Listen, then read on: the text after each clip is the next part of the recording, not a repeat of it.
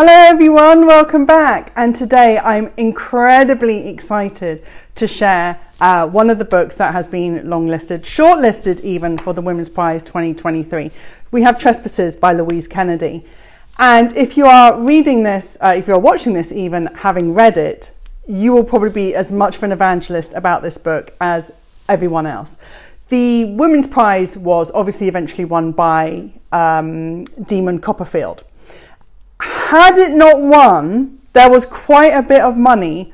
The sort of outsider was on Trespasses, this book by Louise Kennedy, a debut novel, because, and I'll be honest here, it's bloody amazing.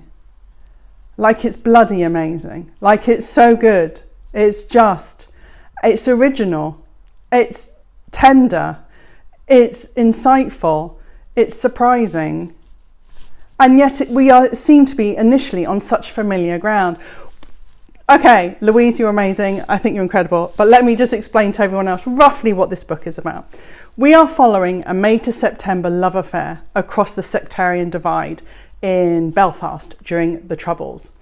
In the 1980s, we um, sat with Cushla. She is a young primary school teacher who also has a second job working nights in her brother's pub. Her mum is an alcoholic, but she lives with to prop her up.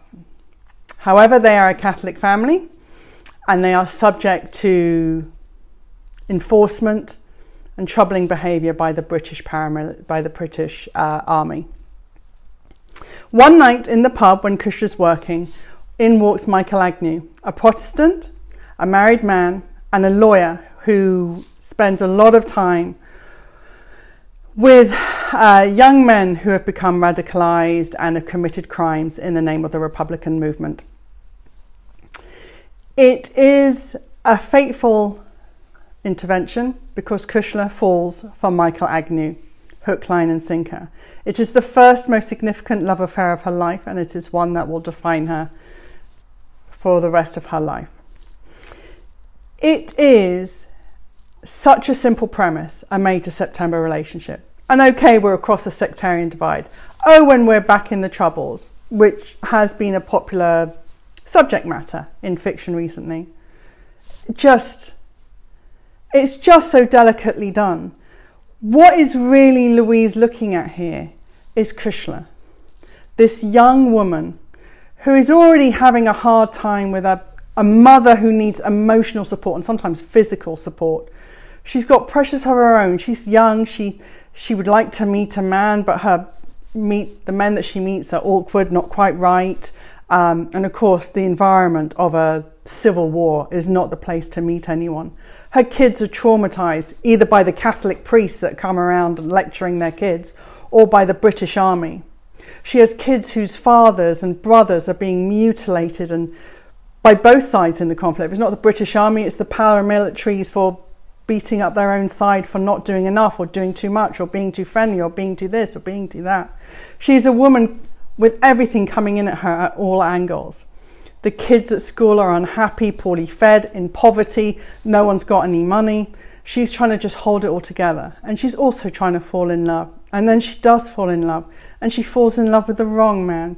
She falls in love with a man that she cannot have. A man who has his own issues. A man who's already caught up deeply in the conflict in a way that is extremely traumatizing and difficult for him. It is the sad story of a woman wanting to be in love and finding love and doing everything she can to make it happen when all the odds are against her. It's a beautiful story, Trespasses, and Cushla is brought to life beautifully by Louise. She, you feel the little disappointments, the little hopes, the little behavior changes when the phone rings, or how stupid you feel when you're just standing out on that corner waiting them for to come, or the times you just go and hang out in the bar knowing that sometimes they come into that bar and then they don't come in and you've made an effort and you look stupid and it's just those little observations that build into these hopes that you have for Cushla that she can get through it. But also Louise crafts an incredible backdrop. When you are working as a writer in a war zone, you can get swept away by the drama, the necessary drama of the war. And here, Louise just brings the Civil War in in the most painful ways, but it's not overwrought, it's not overdone. It is just how ordinary lives just cannot be ordinary with the British Army strangling the life out of Belfast. It is beautifully written.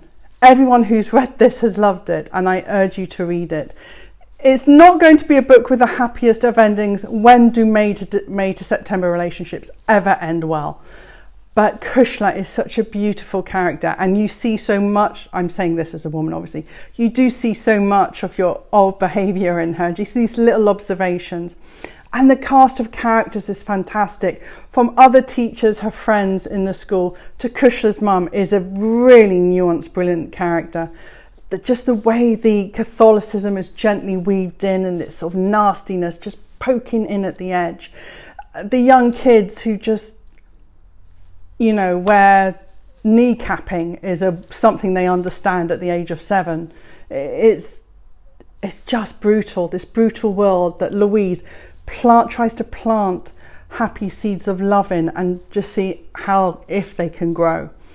I adored this Trespassers, and had probably had it not been for Demon Copperfield, I really think Trespassers stood a really, really big shot of winning. And uh, I hope Louise Kennedy isn't too disappointed because this book deserves to be read widely, and I really hope it is. And I can't wait to read her next one. Until then, please, please read Trespassers by Louise Kennedy.